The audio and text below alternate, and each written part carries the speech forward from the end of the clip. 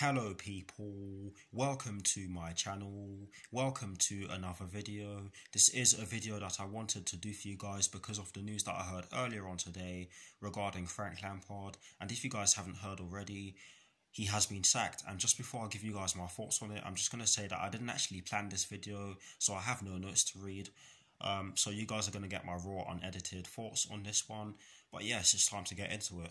Um, I'm not going to lie to you guys, I'm distraught, I'm a bit angry, quite frustrated, and a bit upset at this because I don't feel as though Frank Lampard did deserve to get the sack. Yes, our recent run of form has been poor. Some of the recent performances have been shocking as well. Um, but at the same time, it was always going to take time for these players to gel. It was always going to take time for Frank Lampard to actually implement what he wants to do um, in terms of systems and tactics and X, Y, Z. Um, so on that note, I don't necessarily believe that it was fair for him to get sacked. But if everything I heard about um, the dressing room is true, then you can definitely blame him for that, and you should be blaming him for that because I've heard some bad things about um, the dressing room, and um, um, sorry, sorry for the um fillers. Um, I just, I'm just I'm just riddled with disbelief right now. But yes, I saw um, Hakim Ziyech's body language when he went off the pitch against Luton Town yesterday afternoon, and it didn't look good. And it did seem as though he was one of the players who was affected by Frank Lampard. Um, it's just it's just a shame because of course Frank Lampard is a club legend. He did all sorts for the club as a player, and yes, I'm well aware of the fact that um, serving a club as a player and serving a club as a manager are two completely different things.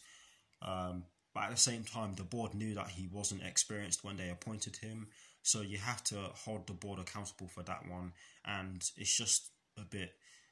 It's honestly, guys, it's just it's just happened again, and it's getting silly now. This whole hiring and the sacking, sorry, this whole hiring and the sacking thing. It's just getting incredibly silly, and it's this whole thing just proves that um, loyalty, uh, loyalty in football does not exist anymore. I mean, we're we're the kings of hiring and sacking. I don't know any other club in world football that does um, that does this.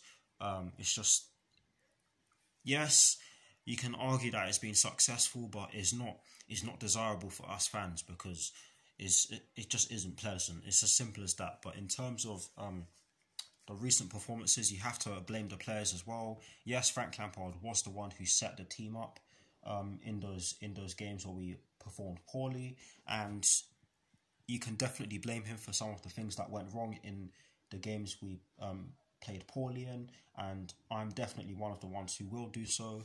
But honestly, guys, I just don't think that was fair to sack him because not only um, was it going to take time for these players to gel, it was um, it was um, unfair in my opinion because there was always a chance of him turning it around. And I know that the club said in their statement that it, he wasn't showing any signs of turning our poor poor performances or poor run of form of recent around. But you never know. You can't always you can't always predict those things based off of um, a recent game or something. However, um, I can understand why they did this I can understand why they did sack him for that reason, guys. I'm sorry for stuttering. I just, I'm just a bit, um, I, I just don't know. It's just a funny one, and um, I'm hearing that we're bringing in Thomas Tuchel very soon. Um, I'm not necessarily his biggest fan because of the things I've heard about him. However, I am willing to give him the chance because, of course, I'm probably gonna have to anyway.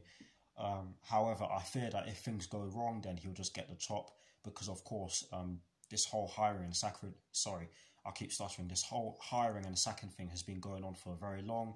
Um, and I wouldn't be very, I wouldn't be surprised at all if it happened again. Um, I can't even. Uh, uh, I think I just, I think I've just told you guys how I feel in the way I sighed there. But yes, um, Frank Lampard has been sacked after 18 months in charge, and I guess the only thing I can really say is that he went out on a win. Um, the players now they're gonna have to step up um, to prove a point to the fans because, um, like I said, I heard some bad things about what went on in the dressing room, and if that's the case, then they're gonna have to they're gonna have a they're gonna have a point to prove to the fans, and if they don't, then um, a lot of them will probably need to be shipped out or something. I just I just don't know right now. I, I, this club is killing me, and yeah, this club's killing me right now. Um, I didn't want it to happen, but I'm not surprised at the fact that it did, and that's the only way I can summarize. But um, yeah, Thomas Tuchel looks as though he's going to be the next Chelsea manager. I've been hearing that he's likely to sign an 18 month contract. If that's the case, then hopefully he does well, and hopefully Frank Lampard doesn't um, doesn't go out of management. Hopefully he um, get, gains more experience and comes back a stronger man because it would be very nice to see him back. Yes, I know many Chelsea fans out there don't want to see him back, but um, I certainly do because we are running out of um, established managers. But yes, that's my take on it. I hope you all enjoyed this video. Please do like, comment, and subscribe to my channel if you're new. Also, please do put your thoughts on Frank Lampard sacking in the comment section below. And as always, I will do my very best to respond. Um, that is it for this video. I hope you all enjoyed it. Come on, you blues, and peace. Oh dear.